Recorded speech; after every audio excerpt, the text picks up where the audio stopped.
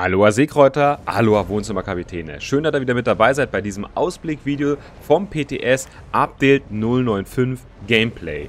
Wenn ihr euch einloggt, dann landet ihr zuerst wieder bei den täglichen Lieferungen. Ihr habt 10 Stück.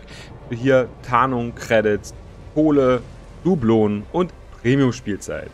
Ihr habt wieder wahrscheinlich 14 Tage lang Zeit, euch 10 mal einzuloggen, um dann alle Bonis eben abzufahren. Wenn ihr da fertig seid, dann landet ihr wahrscheinlich in Hamburg oder eben hier in Dünenkirchen, ein von vier überarbeiteten Häfen. Das ist nämlich eben hier der genannte Dünenkirchenhafen, Kronstadt, Designerbüro und Twitch Prime Hafen. Die bekommen ich somit das neue Beleuchtungs- und HDR-Modell. Es bleibt aber nicht dabei, sondern es kommen auch noch Karten dazu. Ripost, Killer Whale, Newport, Raptor und Narei. Die letzten vier genannten sind Operationen, die jetzt das neue Be äh, Beleuchtungsmodell und HDR bekommen. Und Riposte ist eine Karte, die kennen wir aus den gewerteten Gefechten. Das nächste, was wir sofort feststellen werden, mit einem bisschen genaueren Hingucken, ist, dass zum Beispiel hier die Seite sich ein bisschen überarbeitet hat, verändert hat. Es gibt nicht mehr diesen Direktivenreiter, obwohl es Direktiven auch in Update 095 gibt. Und da wollen wir jetzt einmal mal reinklicken. Hier ist nämlich bei den Kampfaufträgen jetzt alles ja, aufgebaut. Und ihr kanntet das ja, vorher war es eher so eine Art Karussellansicht und jetzt ist es eben aus meiner persönlichen Sicht etwas übersichtlicher geworden. Wir haben jetzt hier den Reiter wiederkehrend, das sind eben diese täglichen Aufträge, die sich mit Update 005 auch nochmal ein bisschen verändern, nicht nur in der Optik der Aufträge, sondern auch in der Art der Belohnung, die man erhält. Und dann geht es eben immer weiter runter. Hier sind jetzt öffentliche Testbelohnungen, die werdet ihr auf dem Live-Server nicht finden, aber da gibt es persönliche, dann gibt es normale Kampfaufträge und eben halt auch die Werftaufträge, die man dann da finden. Hier an der linken Seite sieht man immer quasi die Auftragsübersicht, die in dem Reiter jetzt zum Beispiel wiederkehrend ist. Oder beim Kampfauftrag sind sechs Aufträge untereinander aufgelistet, die gehören alle zum Bereich Kampf. Es gibt einen neuen Auftragstyp, hier zum Beispiel diesen, erfüllen Sie eine Bedingung des Auftrags, das heißt dann entweder das oder das, ja, und am Ende führt das beides, also wenn man nur einen Teil davon erfüllt, dazu, dass dieser Auftrag erfüllt ist, ja, und man muss einfach immer nur raufklicken und das sind hier diese Einzelaufträge, ja. Und es sieht dann ganz genau, wie weit man ist, welche Gefechtstypen man fahren muss, welche Stufen, welche Schiffstypen, welche Nationen und welche Belohnungen man am Ende bekommt. Und wenn man eine Auftragskette hat, dann sieht man da vorne an dem Kettensymbol, dann sieht man nämlich hier, klickt man hier rauf und dann sieht man, okay, darunter sind vier Aufgaben, die quasi nacheinander erfüllt werden müssen, damit man diesen Auftrag abschließt. Und auch hier ist alles eindeutig aufgelistet. Wenn wir jetzt aber nochmal zurück zu den wiederkehrenden Aufträgen gehen, also täglichen Aufträgen. Dann seht ihr da oben, wie viel Zeit ihr noch habt, um die täglichen Aufträge zu erfüllen. Auch finde ich persönlich ziemlich geil, dass man jetzt eindeutig sieht, wann dieser Auftrag resettet wird. Ja, und ihr seht, was ihr so erfüllen müsst. Das sind keine besonderen Aufgaben, die kennt ihr quasi schon. Aber die Belohnungen mit Update 105 könnten sich verändern. Es kommen nämlich neue hinzu. Also es bleiben die alten Belohnungen, aber es wird auch mal Situationen geben, wo zum Beispiel eben Stahl oder Forschungspunkte hier als Belohnung drinne stehen werden. Ich, wenn ich mich recht entsinne, werden es wohl bis zu 20 Stahleinheiten sein, die ihr da täglich erfahren könnt. Ne? Also immer schön die Augen offen halten und vielleicht diese Nebenaufträge mal machen. Die kann man ja auch im Koop erfüllen und 20, äh, 200 Basic XP oder so eine Sache. Zumindest die ersten ja, sollten einigermaßen gut eben machbar sein. Dann kommen wir einmal hier zu diesem Werft-Event. Ich möchte euch jetzt gleich vorne, vornherein weg sagen, die Belohnung, die ihr jetzt hier an der Seite seht, oder die Schwierigkeitsgrade, die jetzt hier so ein bisschen drinne stehen, was ihr hier machen müsst, das sind PTS-Belohnungen und Schwierigkeitsgrade auf dem PTS die sind natürlich besonders leicht oder beson und die Belohnung besonders reichhaltig. Ja, einfach um auch Anreize zu bieten, auf dem PTS zu, äh, zu spielen, um diese Mechaniken, die Hintergrundmechaniken von World of Warship zu testen. Das wird so nicht auf dem Live-Server sein. Die Aufgaben werden schwieriger sein und die Belohnungen für Einzelaufgaben weniger attraktiv. Da geht es ja um das Gesamtpaket Oden und Graf Spee, die man als Belohnung bekommt. Deswegen werdet ihr da keine dreieinhalbtausend Dublonen oder so eine Sachen bekommen. Aber ihr werdet äh, hier diese Schiffsbauphasen euch erarbeiten können in diesen, in Anführungsstrichen, Direktiven. Ja? Äh, ihr habt auch hier wieder diese vier Direktiven untereinander weg und die werden nacheinander freigeschaltet. Äh, und hier sehen wir dann, was wir erfüllen müssen. Wir müssen sechs Aufträge erfüllen und zwar sechs Stück von irgendwas von dem. Vielleicht ist es auf dem Live-Server nachher, dass man 8 von 12 erfüllen muss oder was auch immer. Ich weiß es nicht genau, aber am Ende geht es halt immer darum, diese Direktiven zu erfüllen und Schiffsbauphasen freizuschalten. Das passiert hier mit jeder weiteren Direktive. Da gibt es zwei, hier gibt es nochmal zwei und mit der letzten sogar vier. Und diese Direktiven oder beziehungsweise diese Schiffsbauphasen nehmen wir mit. Und zwar in diese Werft, die wir jetzt hier gerade sehen. Äh, hier bauen wir die Oden und da hinten drin bauen wir die Graf Spee. Ähm, und hier unten ist der Balken mit den Schiffsbauphasen. Ja, wir haben hier 1 bis 10. Wenn ihr 10 erreicht, bekommt ihr die Graf Spee. Die 50.000 Kohle werden wohl Platzhalter sein für die Graf Spee. Da wird dann die Graf Spee drin sein, nicht die 50.000 Kohle. Und wenn ihr äh, 20 Schiffsbauphasen abschließt, dann bekommt ihr die Oden und wahrscheinlich nicht die 100.000 Kohle. Ne? Nur mal so, damit ihr es wisst. Ich habe in dem Video, was ich vorher zur Werft gemacht habe, noch gesagt, dass es äh, eventuell diese Belohnung geben könnte, dass die ausgetauscht werden. Ich bin mir inzwischen sehr sicher, dass die, diese Belohnung nicht also die 100.000 Kohle und die 50.000 Kohle nicht dabei sein werden. Dafür werden dann eben die Schiffe da sein. Ganz wichtig ist, ihr könnt 18 Phasen selbstständig über diese Aufgaben, die ich euch eben gezeigt habe, erspielen. Die Phase 19 und 20, die müsst ihr euch erkaufen. Es geht nicht ohne kaufen, ja, um die Oden zu bekommen. Ne? Eine Phase kostet 1750 Dublonen, das heißt 3500 Dublonen müsst ihr ausgeben, wenn ihr die Oden haben wollen würdet. Wargaming setzt jetzt natürlich wieder Anreize, um äh, euch das Leben ein bisschen einfacher zu machen und dass Wargaming eben ein bisschen Geld verdienen möchte. Das ist ganz klar. Ähm, und darum bieten sie euch so ein Starterpaket an und ihr kriegt sofort acht Phasen geschenkt. Ne? Also nicht geschenkt, aber ihr bekommt acht Phasen freigeschaltet, indem ihr 8000 Dublonen ausgebt, statt 14.000. Also gegenüber dem Einzelkauf sind dann 6000 Dublonen quasi gespart. Ähm, ja, muss jeder für sich selber wissen, ob er dieses Starterpaket nutzen möchte. Es ist aber nur bis zum Abschluss von Phase 1 verfügbar. Ja, also das könnt ihr euch nicht nachher noch entscheiden, wenn ihr schon äh, weiter seid irgendwo, dann verschwindet dieses Angebot, sondern ihr müsst euch mehr oder weniger gerade von vorne weg entscheiden. Hm. Es ist mein persönliche, meine persönliche Meinung vielleicht gar nicht mal so verkehrt, da man am Ende sowieso, wenn man die Odin haben möchte, ähm, sowieso dreieinhalbtausend ausgeben muss ist es vielleicht gar nicht mal so verkehrt. Denn ihr werdet auch noch anders belohnt, wenn ihr Dublonen ausgebt und äh, nicht alle Missionen freispielt. Denn wenn ihr quasi Geld ausgebt und Direktiven freischaltet, könnt ihr trotzdem immer noch, also diese Level hier freischaltet, könnt ihr ja trotzdem immer noch Direktiven erfüllen und Schiffsbauphasen äh, quasi freischalten. Für jede Schiffsbauphase, die ihr übrig habt, obwohl ihr die Oden dann schon abgeschlossen habt, ja, bekommt ihr am Ende 250 Stahl vergütet. Das heißt, wenn ihr komplett alles kauft, also 29.000 Dublonen in Summe total ausgebt mit dem Starterpaket zusammen, dann könnt ihr bis zu 4.500 Stahl quasi durch, die, durch das Spielen von Direktiven nochmal freischalten.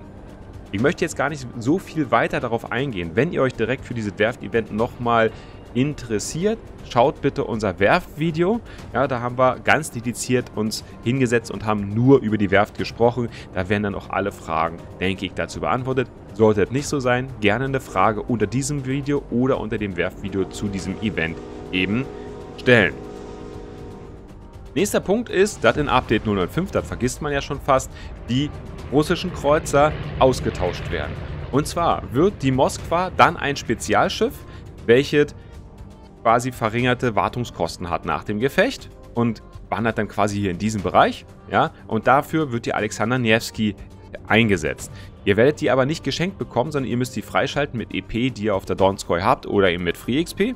Und bei der Kotowski ist es genau das gleiche. Die Kirov geht raus, wird ein Premium-Schiff und die Kotowski wird dafür eingesetzt. Wenn ihr beide Schiffe, also die Kirov und die Moskwa, freigeschaltet hattet, ja, dann bekommt ihr die Schiffe quasi einfach so geschenkt. Ihr müsst sie aber nur freigeschaltet haben. Ihr müsst sie nicht im Hafen stehen haben. Das heißt, jeder von euch, der jetzt diese beiden Schiffe im Hafen hat, sollte vor dem Update 095 beide Schiffe verkaufen, damit er die Creditpunkte bekommt. Ne? Ihr bekommt ja dann 50% der Creditpunkte des Schiffes und quasi einen Tag nachdem, also wenn das Update aufgespielt habt, bekommt ihr die Schiffe wieder und dann für geschenkt, für lau. Ja, deswegen ist vielleicht nochmal ein Tipp, Verkauft vorher die Schiffe, wenn ihr Kreditpunktemangel habt und das äh, mitnehmen wollt unbedingt. Den nächsten Punkt, den ich euch gerne zeigen möchte, ist die Waffenkammer, die wir jetzt hier haben. Und die hat sich gänzlich überarbeitet in dem Update 005. Wir haben jetzt hier einen ganz anderen Bereich. Ihr seht, wir haben hier nur noch Symbole, kein Text mehr. Das ist deutlicher klickbar und die ganze Optik ist hier jetzt anders. Wir fangen mal oben rechts an. Hier gibt es jetzt ein Suchensymbol. Hier kann man jetzt sozusagen India eingeben und dann findet man alles, was irgendwie mit India anfängt. Also India Delta, India X-Ray und so weiter.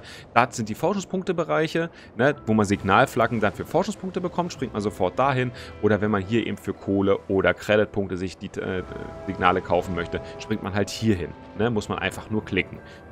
Dann gibt es äh, eine Notification, also einen Benachrichtigungsbereich ja, und eben die Übersicht der Coupons, die sie ja auch nochmal überarbeitet haben, was man alles hier so für Möglichkeiten hat, für Verbesserungen, Ressourcenschiffe, Dublonenschiffe und, und, und, und, und, Ressource Kohle, Ressource Dublonen, ist alles schön äh, deutlich aufgeführt. Hier sind wieder die Währungen, die wir so haben, ne, die Marken und Stahl und Kohle und Hast du nicht gesehen? Und dann gibt es hier nochmal diese Wallet oder die Portemonnaie. Und da kann man das auch nochmal schön aufgelistet sehen, wie viele Clan-Marken, gewertete Marken und so weiter man eben hat. Wie der Kurs ist, der Umrechnung von Stahl und Kohle, sind alle Informationen nochmal zentral mh, hm, ja, aufgeführt. Das hier ist der Empfehlungsbereich mit dem Sternchen. Und dann gibt es eben diese Schiffe für Ressourcen. Ja, Sie haben einen Coupon für diese Kategorie, wird dann oben auch nochmal angezeigt.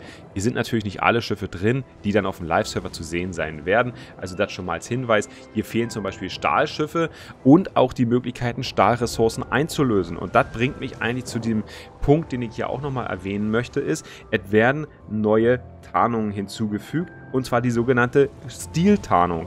Die blende ich euch nämlich gerade ein und das ist die Tarnung, das Schiff wird komplett mit Metall überzogen, als ob wie so eine Zinnfigur könnte man sagen und das ist dann für die Yamato, Desmo und Shima verfügbar, kostet 10.000 Stahl und wird Standard Werte haben. Es gibt da also keinen besonderen Wert, ähm, der da irgendwie hervorsticht, sondern es ist einfach nur die Optik. Dann berichtet sich äh, besonders an die Kapitäne, die schon sehr, sehr viele Clan Wars gefahren sind und sehr, sehr viel Stahl angehäuft haben. Und es gibt auch hier diese Forschungspunkte, äh, äh Forschungsbüro-Bereich. Ähm, ja, und ähm, das bringt uns wieder zu dem Punkt, wir haben jetzt seit kurzem die einmaligen Verbesserungen äh, in diesem Forschungsbüro reinbekommen und die werden sich verändern. Und zwar werden für die Schiffe Yuyang, Chabarovsk, Wuster, Des Moines, Henry, Großer Kurfürst, Montana, Republik und Shimakase die Module voraussichtlich mit 095 eben überarbeitet werden. Dafür haben wir ebenfalls ein separates Video gemacht, wo ihr euch komplett nochmal informieren könnt, was sich ändert und wie es sich ändert. Ja, und ja, die werden dann hier halt auch Einzug halten. Weiterer Punkt ist dann hier der Bereich, das ist dann wieder der Themenbereich. Wir haben ja gerade das russische Thema, wenn man dazu sagen möchte. Und auch hier wird es dann wahrscheinlich wieder so eine, so eine Bündelgeschichten geben. Oh, sogar mit Video hier, wo man äh, sozusagen mit einem bisschen Lack äh, sich dann hier die Sachen, ein zufälliges Paket erwürfeln kann. Wieder für die 500 Dublonen ist hier halt das Übliche. Ja, aber es ist jetzt auf jeden Fall mal netter animiert, also auf die Optik wurde hier ein bisschen Wert gelegt. Ja, hier gibt es jetzt Platzhalter, Texas, Marblehead und Oktoberrevolution. Ich vermute, da werden nachher andere Schiffe sein, die ihr dann damit eben als Vorabzugang freischalten könnt. Ihr könnt mir vorstellen, dass da vielleicht dann auch die Petropass Lost mit dabei ist. Weiß ich nicht genau, das ist nur meine persönliche Vermutung. Ja, der nächste Punkt in meiner Liste, den ich hier für das Update 005 notiert habe, ist Ranked Sprint. Also gewertete Sprints wird es wieder geben in dem Update-Zyklus. Und zwar gibt es einen am 24.06. bis zum 6. Juli. Ja, der wird 8 gegen 8 ausgetragen. Also wieder ein kleineres Team als früher. Auf der Stufe 8 und im Modus Herrschaft. Also nicht mit Wettrüsten und solche ganzen Geschichten. Und es wird zwei Clan-Brawls geben. Einen am 20.06. im Modus 3 gegen 3 auf der Stufe 10. Erlaubt sind nur Schlachtschiffe, Kreuzer und Zerstörer. Und am 4.07. Äh, ein 4 gegen 4, nur T8-Schiffe. Und dann darf nur jedes Schiff, ein, also jeder Schiffstyp einmal benutzt werden. Sind dann also auch Flugzeugträger wieder mit dabei. Das ist vielleicht nochmal für den einen oder anderen ein Hinweis, dass ihr euch an dem Tag ja freihaltet, wenn ihr denn an dem Tag unbedingt World of Warships spielen möchtet. Und dann gibt es noch einen Punkt, den ich euch jetzt gerne zeigen möchte. Und zwar wird für die Schiffe Goliath und eben die Kleber äh, die Event-Tarnung quasi als permanente Tarnung eingeführt. Ne? Ihr könnt euch ja vielleicht noch daran erinnern, gerade die britischen Kreuzer sind ja Anfang des Jahres erst gekommen und da gab es dann diese Premium-Tarnung Viktorianisches Weiß. Ja, die kann man Die konnte man da erst spielen und in den Containern finden, glaube ich, wenn ich mich recht entsinne. Und jetzt ist sie dann halt hier auch verfügbar für 5000 Dublonen.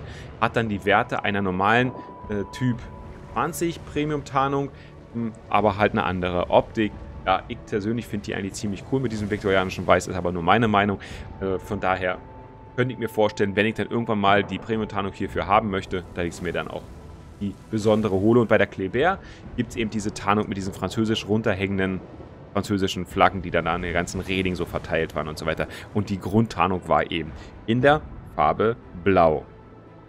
Gut, ich denke, ich habe euch jetzt alles einmal so ein bisschen gezeigt, was sich in Update 005 auf dem äh, Live-Server verändern wird. Es wird sicherlich noch weitere Änderungen geben, auf die wir jetzt nicht weiter eingegangen sind. Eine davon wird wahrscheinlich die Änderung sein, dass die deutschen Zerstörer eine Viertelpenetration bekommen, also die 128 mm Geschütze dann 32 mm Panzerung durchschlagen können und die 150 mm Geschütze dann sogar 38 mm Panzerung und das alles ohne Trägheitszünder für Sprenggranaten, finde ich persönlich ebenfalls eine relativ sinnvolle Veränderung bei den deutschen Zerstörern und eigentlich auch logisch, wenn man sich die ganzen deutschen Schiffe so anguckt, die ja überwiegend alle ein Viertel Penetration haben. Gut, das ist das gewesen, was wir euch sagen können. Ich hoffe, das Video hat euch äh, gefallen. Wenn es so ist, Daumen nach oben da lassen, Kanal abonnieren, uns gerne weiterempfehlen. Auch bei Twitch könnt ihr vorbeischauen oder bei Facebook und Mixer, wo wir überall sind, Instagram, Twitter. Ähm, Würde mich auf jeden Fall sehr freuen, wenn ihr uns da ein Follow da lasst, um uns ein bisschen zu unterstützen. Vielen, vielen Dank im Vorwege und ich danke jetzt für eure Zeit. Wir sehen uns im nächsten Video, im nächsten Livestream. Haut rein, euer Secrets Team, euer Andi. Ciao, ciao.